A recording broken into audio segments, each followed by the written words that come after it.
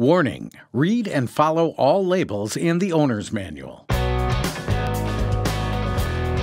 The wireless interface control remote becomes a versatile tool when you use it with CV wire processes. For suitcase wire feeders or spool guns, the inductance setting can be adjusted from the remote to fine tune the weld pool fluidity, get rid of arc squeal, or help reduce spatter.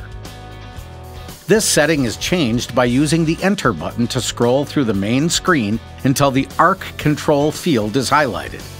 Then use the Increase and Decrease buttons to make any adjustments. This inductance control can be used on Miller ArcReach suitcases or suitcase feeders with voltage control cables, both of which still allow voltage and wire feed speed to be adjusted on the suitcase. Wireless interface control can adjust voltage on systems using feeders without integrated voltage controls or spool guns.